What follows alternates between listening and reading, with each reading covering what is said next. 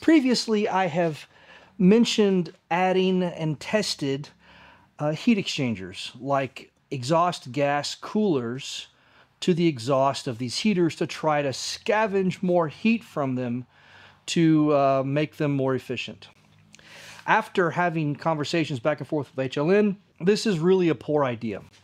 Not because it doesn't work, but because anything that you do to the stock exhaust to restrict the flow or the stock intake to restrict the flow really causes problems with the air fuel ratio and can lead to excess fuel, soot buildup, clogging of the burners. So when I tell you that if you want a maintenance-free experience with your diesel heater, don't mess with the exhaust, the stock exhaust. These heaters are optimized for the intake and the exhaust they come with.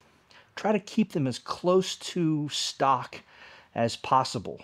It pays dividends on the back end. That's what I've learned.